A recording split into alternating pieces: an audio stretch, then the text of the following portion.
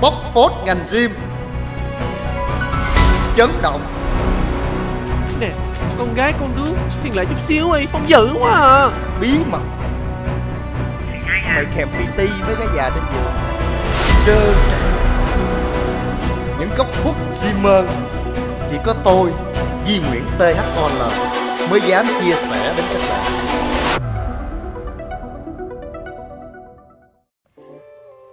Không được, không được đâu anh ơi. Em còn con gái Làm vậy em biết phải làm sao. Lỡ mọi người biết được chắc em chết luôn quá à. Có anh lo cho em. Em sợ cái gì? Nhưng mà chuyện đó em còn yếu lắm. Em... em sợ. Thôi để đây em dạy cho. Trời ơi là trời Con nhỏ này nó khờ quá. Người ta đâu có cần cái chuyên môn PT của em Nó cần nó kiếm thằng Di Nguyễn THOL rồi. Nó cần là nó cần cái này nè. Cái dưới này nè. Cái mùi hương. Cái giọng nói. Em nói nó phê là nó ối tiền cho em thôi. Cái thằng đó mám gái. Chứ đâu phải tập tạ em.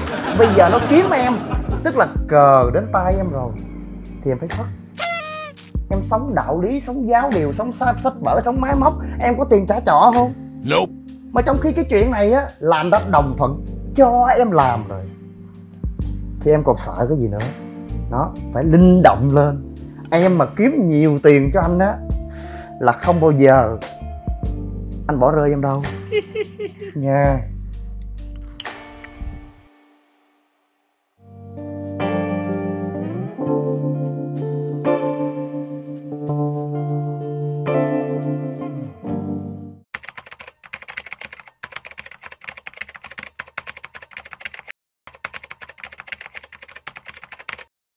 Hay thì xe và like đi ba Cười gì Đăng ký chưa Cái gì cũng biết chứ có biết điều là không biết à